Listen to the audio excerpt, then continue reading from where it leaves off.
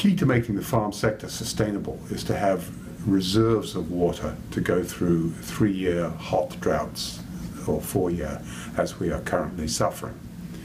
The trick on this is that we actually have to downsize the total irrigated acreage and therefore we're downsizing our water and land footprint on average. This will give us the reserves to carry our high value crops, which are not flexible and cannot be rapidly shut down through the drought years, which are an inevitable part of the California climate. Droughts are normal in this state, and so we have to live with them and manage them. Now, for the first time, California has legislated a set of rules to stabilize these levels of underground water.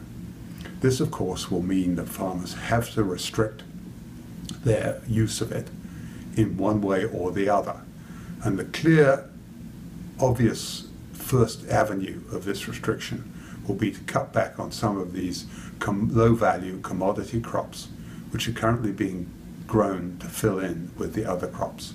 So we will have a short run cost, but in the long run, stabilizing the groundwater is essential for the well being of the high valued agriculture.